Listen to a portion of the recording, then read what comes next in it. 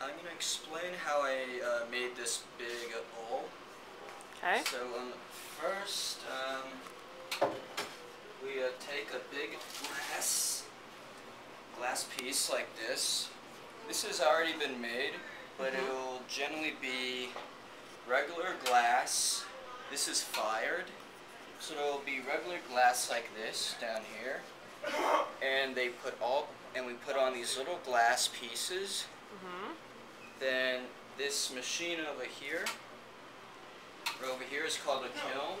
It fuses at 1200 degrees, and it and it fuses all those glass pieces into this big, big circle. And Mhm. um, then, right now we have one that is already being made. I can actually open it up and show you.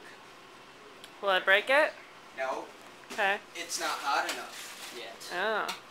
So we can open this up right now so you can see how it is inside this bowl Wow. that it's right now the process is slumping so it's going to um slump into the bowl Okay.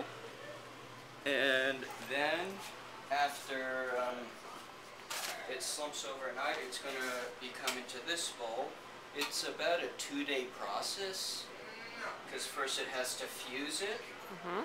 fuse the glass pieces into one of these dishes.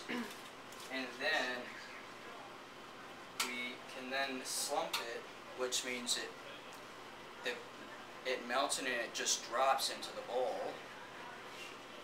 And then it creates this bowl shape in two days Great.